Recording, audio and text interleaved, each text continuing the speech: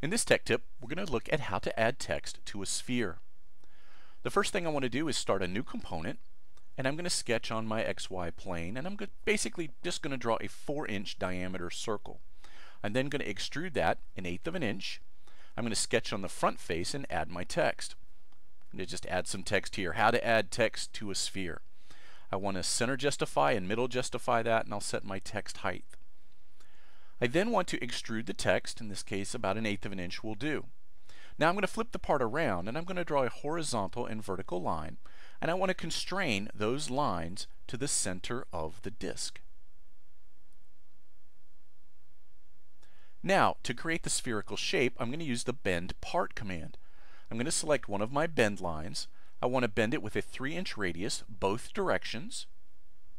I'll then share my sketch use the alternate bend line, and again bend the part with a 3 inch radius in both directions. This gives me a spherical dish shape. I'll go ahead and hide my sketch and then I'm going to use the delete face command to remove the faces on the back of the part making sure to click heal to create the sphere and here you see text on a sphere.